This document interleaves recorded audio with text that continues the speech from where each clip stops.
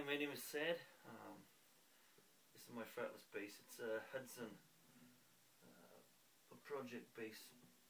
That's a six string fretless. Nice piece of kit. I think it costs about 700 quid's worth, something like that.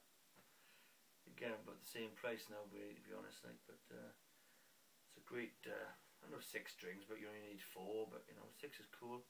Says run up and down the neck a lot. You know what I mean? It's what this sounds like anyway. Mm-hmm.